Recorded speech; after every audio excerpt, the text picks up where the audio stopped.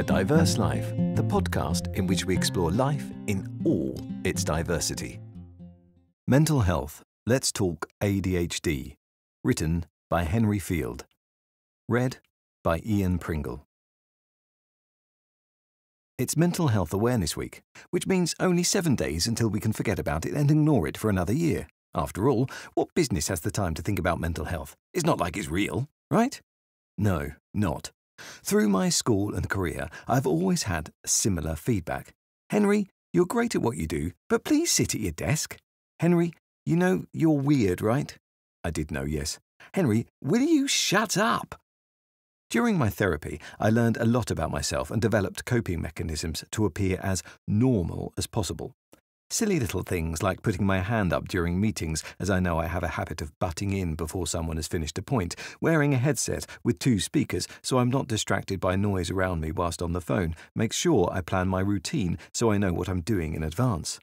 The last couple of years, it's got worse. Forgetting people's names, having to do lists for to do lists, being so strict with my own routine that I couldn't cope with traffic making me get to Asda later than I planned. Something had to be done. The coping mechanisms weren't enough. If I wanted to be working at my best, I needed to get some help. October 2018, after six months of assessments with the Hamadryad Centre in Cardiff, I was diagnosed with ADHD. To anyone that thinks this is an easy diagnosis, let me tell you.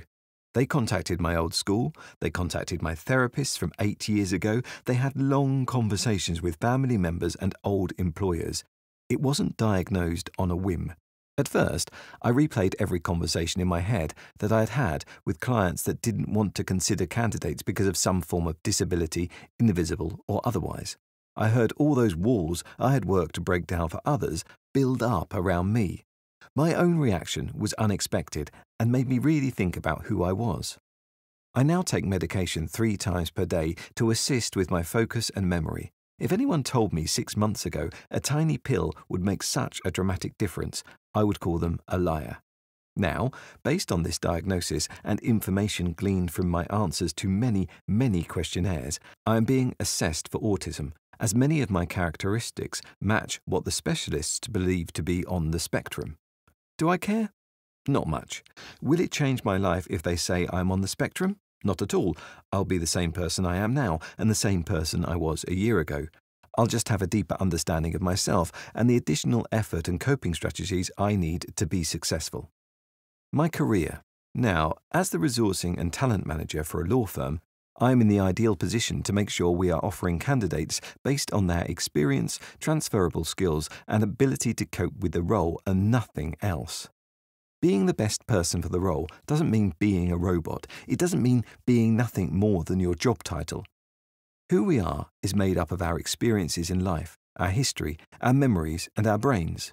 People function differently. That's what makes the world interesting. Many HR departments are great at talking the talk.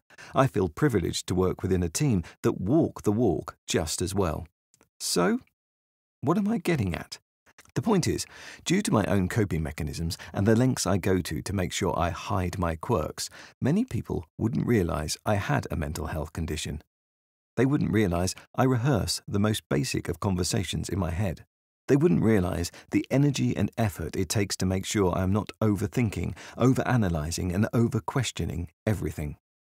Without speaking out, people wouldn't know the difficulty of having a black and white mind in a grey world. Due to my past and having to open up to specialists, I am very self aware and not so proud I cannot speak openly about how I think and how it affects me. As business owners, line managers, and HR professionals, we should all be making sure we offer an environment in which staff can thrive, talk about who they are, and not feel they are going to be persecuted for being different. Then, and only then, can we say we are a truly inclusive society. Advice? I'm not qualified to give advice. One person's experience doesn't mean everyone will be the same, but if I had to recommend one thing, if you're a parent of someone with a learning difficulty, or you're a colleague or a friend, don't assume they're not capable. Speak to them. See what help they need rather than what help you think they want.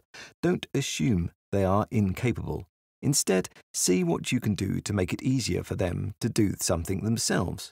It's okay to still push and challenge, it's just important to know where the line is, which you only find by asking.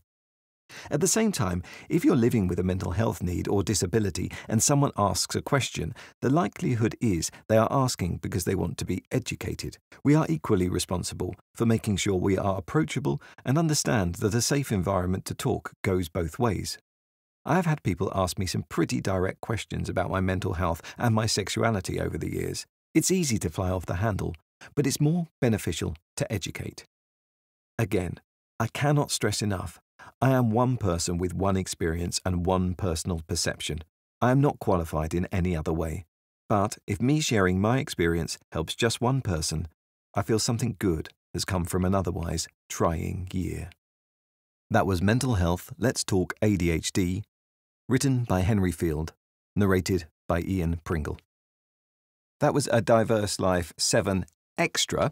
Um, if you haven't heard A Diverse Life 7, then go back and listen to it because um, we interview Henry, who wrote that article, and it's a brilliant interview, and you really get a sense of the experiences that he went through when he was diagnosed with ADHD. I don't know if you agree with me, but I think that um, audio can really bring an article to life sometimes. And it's particularly useful because in the busy world we live in, people don't always have time to read an article, but they will put it on in their car. They can listen to it as they're driving. They might put it in their headphones on the commute to work or listen to it in the shed when they're doing something else. So, um, if that's something you'd like to happen with your article, or maybe you have a busy blog post that you would like bringing to life for audio, then do get in touch because this is a service that I offer. You can contact me, ianpringlevoice at gmail.com, or visit my website, www.ianpringlevoiceover.com. And on the website, there are lots of examples of voiceover work that I've done. Thanks very much for listening. A Diverse Life podcast is a face up theatre and workplace diversity solutions co production brought to you today by Ian Pringle.